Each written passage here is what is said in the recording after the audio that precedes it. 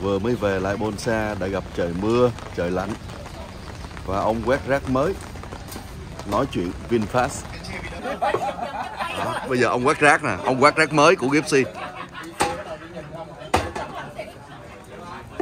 Ông quét rác này quét không không sạch, không ăn tiền, không thua gì ông gọi là Đỗ Khắc Long. Khắc Long là web building mà tôi là chỉ có web rác gì thôi. Ừ.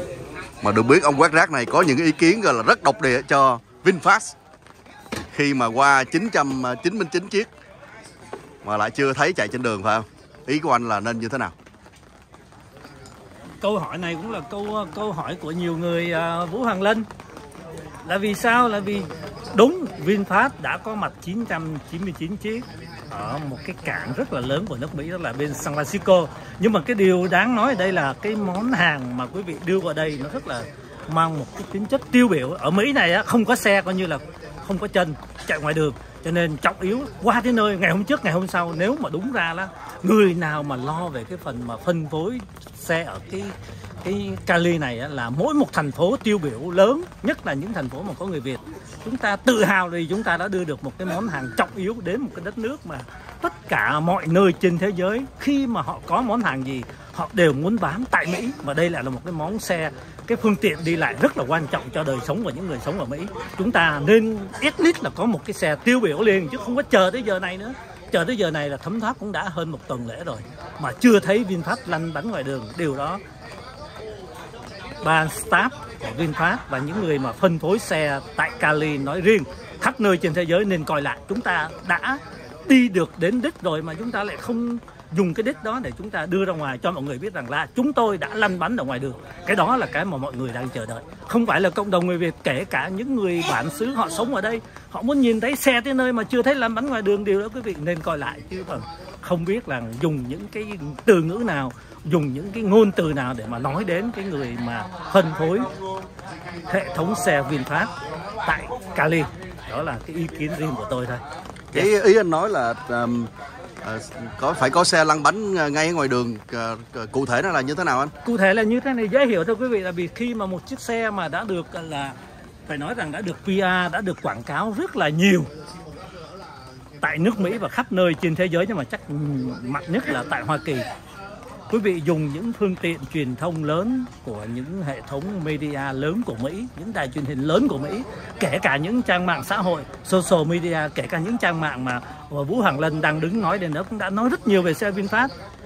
Đó, thì bây giờ câu hỏi được đặt ra và câu trả lời là chúng ta phải có chiếc xe lăn bánh là vì sao? Là vì chúng ta đã đi tới đích rồi, quý vị đã tự hào.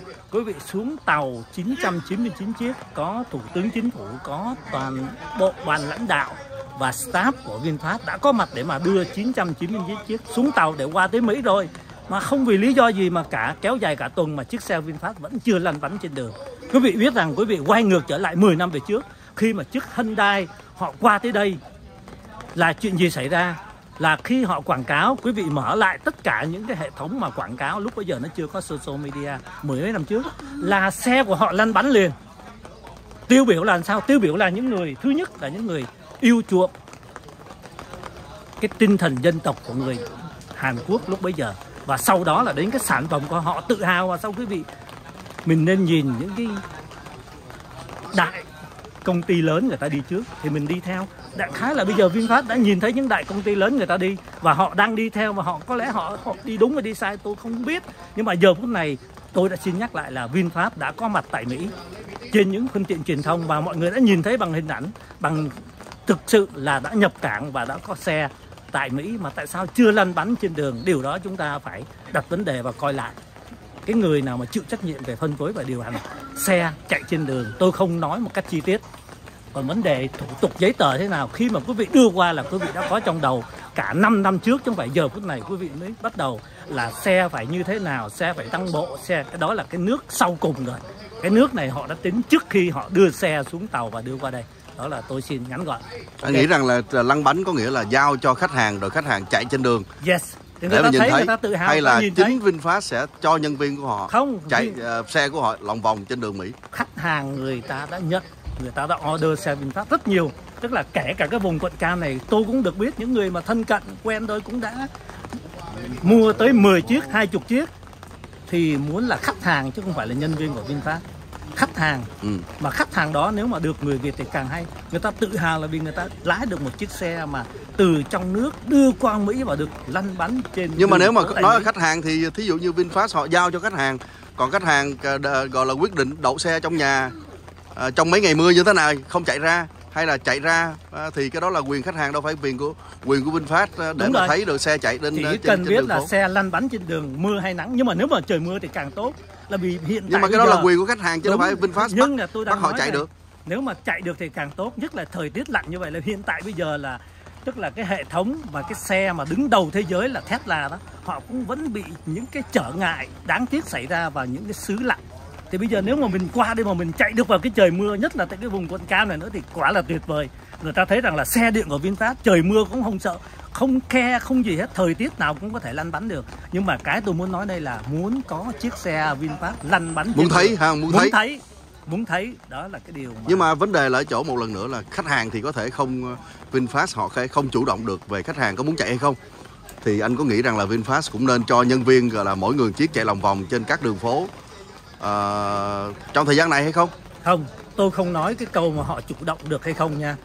Tại sao không? À, Vũ Hồng Lân tại sao không? Là vì họ là một công ty lớn tiền họ bỏ ra cả tỷ thì cái điều mà mình mình đang nói chuyện với nhau cái suy nghĩ của mình là họ đã nghĩ một năm về trước rồi. Tức là qua tới nơi đúng ra là xe phải có lăn bánh trên đường liền.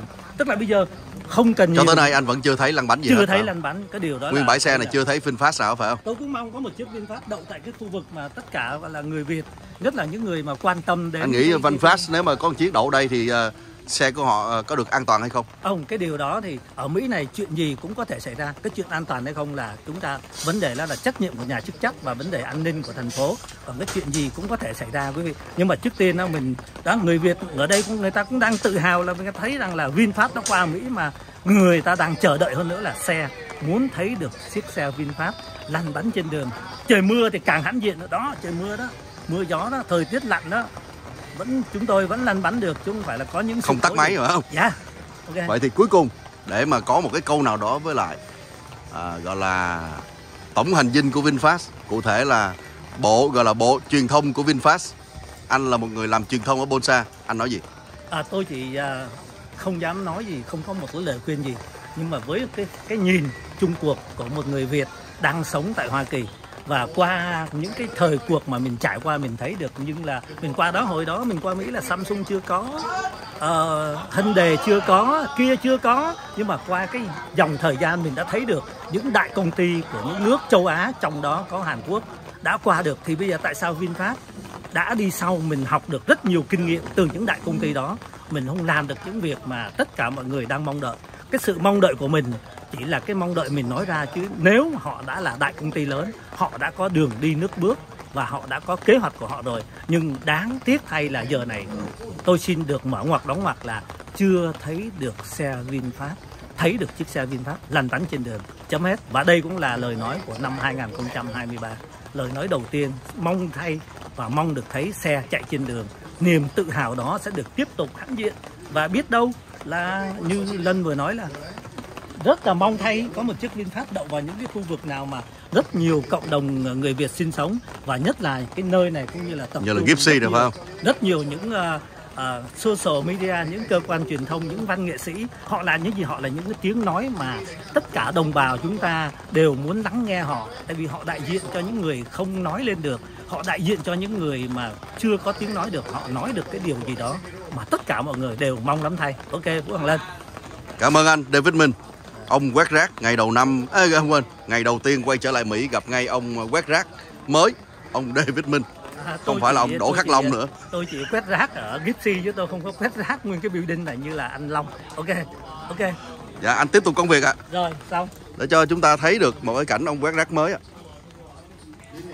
Rồi, trời mưa thì tầm tã thời tiết là rất lạnh quý vị. Chúng tôi đang đứng đây là chỉ có 48 độ rồi rất là lạnh. Thời tiết ở miền Nam chúng tôi à, trong cái tuần này là mưa Mưa và lạnh. Mà năm nay có lẽ không thiếu nước. Đúng có rồi. thể là năm 2023 đến với quận Cam và Cali chúng tôi là chắc chắn năm nay không thiếu nước. Chúng tôi đang đứng đây với Vũ Hoàng Lân là thời tiết có dưới 50 độ rất là lạnh quý vị nhé. Đây là chiếc chổi và ông uh, quét rác Đỗ Khắc Ok. Minh làm việc còn sạch sẽ hơn ông Đỗ Khắc Long nữa